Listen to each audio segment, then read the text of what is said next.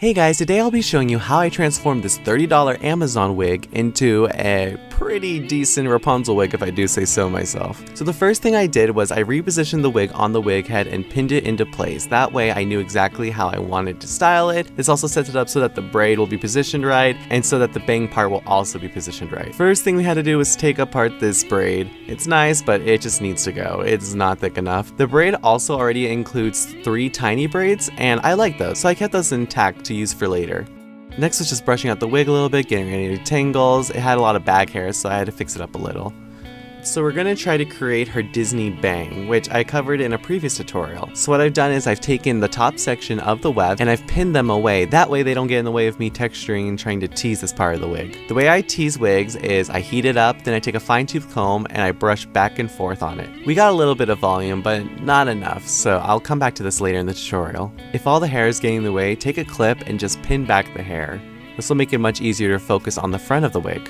I have no script for this, I'm just reading off as I watch it. With this wig, there are a bunch of short fibers throughout the wig, so I just cut those off. They're not needed, and they're mostly there just to make the wig seem thicker. Alright, now back to teasing. To help with this, I add a little bit of hairspray, and then I start doing the same combing method, back and forth, back and forth at the roots, and then on the way up. Using this rounder brush, it helps a lot more with teasing. The bristles are much finer, and so that way it gets more of the fibers and can tangle up the wig much faster.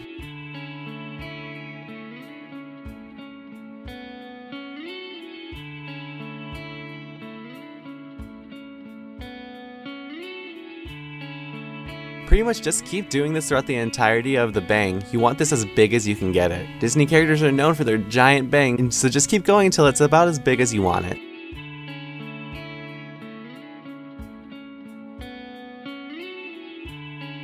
Brush, brush, brush, brush, brush, brush, brush, brush, brush, brush, brush, brush, brush, brush, brush. There we go, we're getting more of the lift that I wanted from before. If you want to see a full tutorial on how I've done this, I did one a couple months back for my Ariel wig.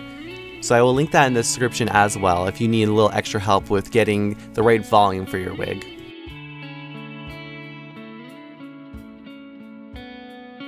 Remember guys, heat is your best friend when you're working with wigs.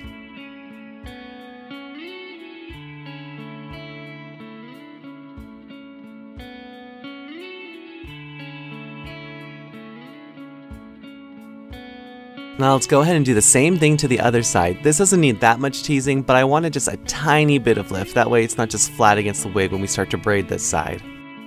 So same method, heat, and then tease. Also, always remember to pin back the top section of the wefts. That'll be the nice side that'll hide all the teased fibers.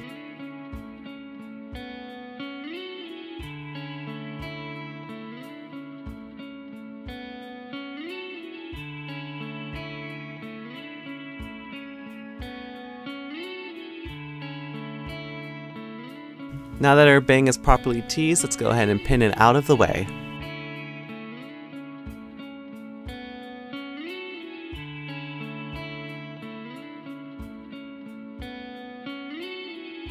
I needed a little assistance on this part because the wig had kept moving, so I asked Andrew if he could hold the wig while I braided it. The proper braid for Rapunzel is a Dutch braid, but I have dumb hands, so I just did a normal braid. Now that that's done, just pin that out of the way as well. Go ahead and go to the other side now and do the same exact braid on that side. While I'm braiding, I'm also grabbing extra fibers from the side to add onto the braid to make it look a little bit thicker and give the braid more dimension.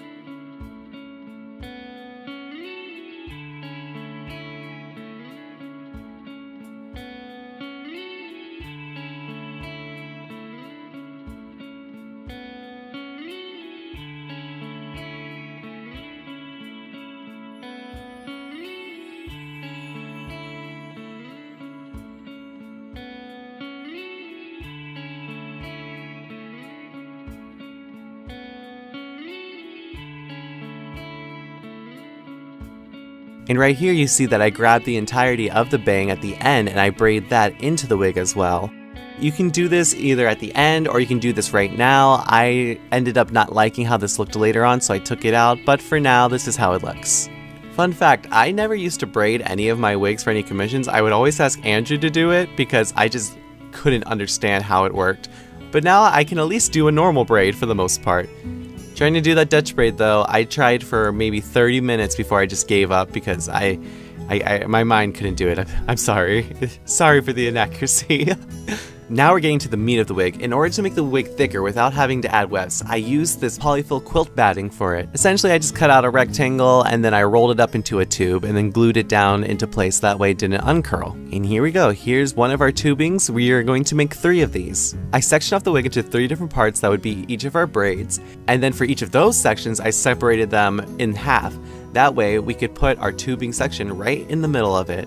Essentially, we're going to be using the fibers to hide it. It's great to use the quilt batting for this because wig fibers stick to it so well, so you're able to just maneuver the fibers around to hide the inner core of it really, really easily. This is going to take a lot of patience, a lot of fixing up, so take your time with this. You want to make sure that it's evenly overlaid between the fibers on each side. Now just rinse and repeat. Do the same for the middle and do the same for the right side. I am just using hot glue for this. It works wonders for this and you don't need to use anything fancy. I was really surprised with these fibers. They're not the best in the world. They're not Arda quality, but they are pretty nice. They're, they're above standard from your regular Amazon wig, so I was relatively pleased with this. It does tangle sort of easily, so don't be too rough with this.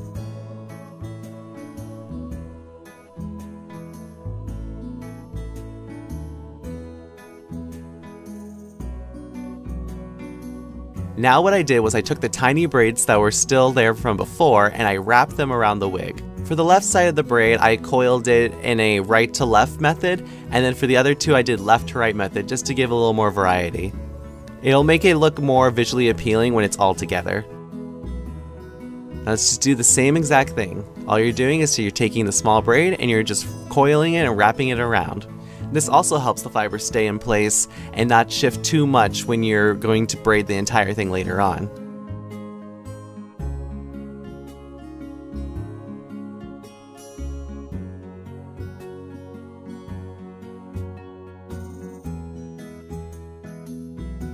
And here's how it looked before I did the giant braid.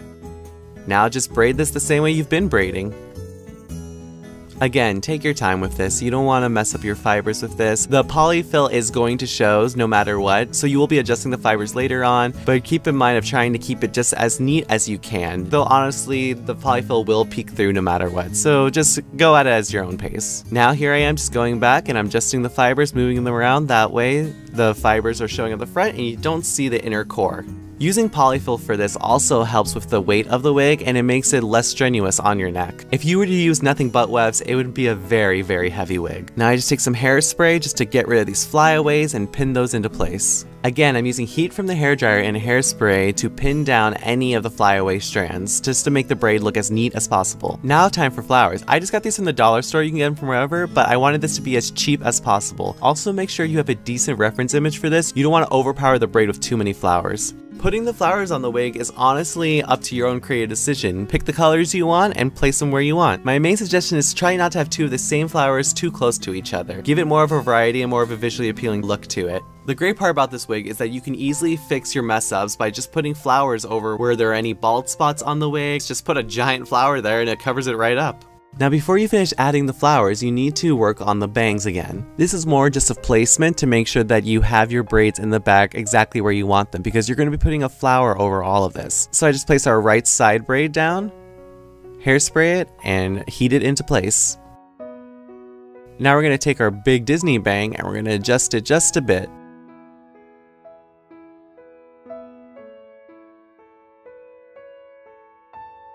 Now go ahead and pin that one into place as well. My bang deflated a little bit, so I had to fix it up just a bit to make it a little bigger. I'm gonna keep saying this, but heat is your best friend. Hairspray and heat do wonders for a wig. I used hot glue for my flowers, but in a method you can use if you don't want to put glue in your wig like that, you can glue a flower to a bobby pin and just have them all glued to bobby pins. But that was too much work for me, so I just glued them straight to the wig. And now that you have your bangs all fixed up and the braids into place, you can put in the last adjustments of your flowers. Put flowers on the braids on the side of the wig and take your big flower for the centerpiece and place that over where the two braids meet from the front.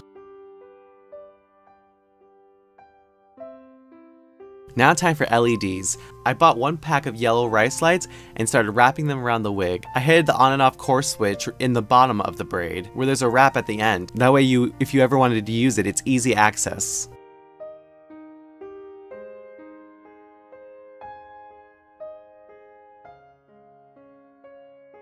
When you're wrapping it, a lot of it is just trying to hide the LED lights by mixing them in with the fibers. So you want to put them behind the fibers, you want to put them behind the flowers, just anywhere you can hide them. That way it's not blatantly obvious that you have LEDs and it's more of a surprise when you turn them on. Most of this is just me tucking the wires into place, hiding them behind fibers, basically just tunneling them between braids. It's not that hard and it's mostly up to your interpretation of where you want the lights to show.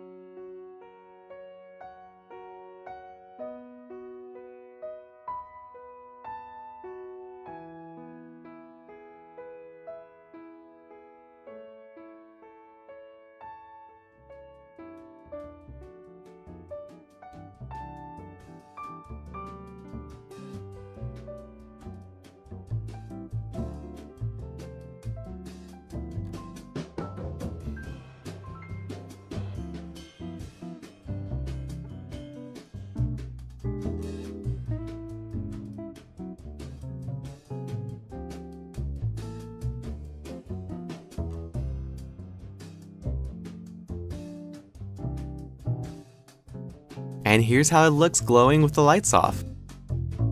And ta-da, Rapunzel is done! I've always wanted to try to make an affordable Rapunzel wig just to see if I could do it, and I think this is about as cheap as I could get it. I hope this helps you out, and I can't wait to see what you guys do. Thanks for watching, and I'll see you in the next tutorial.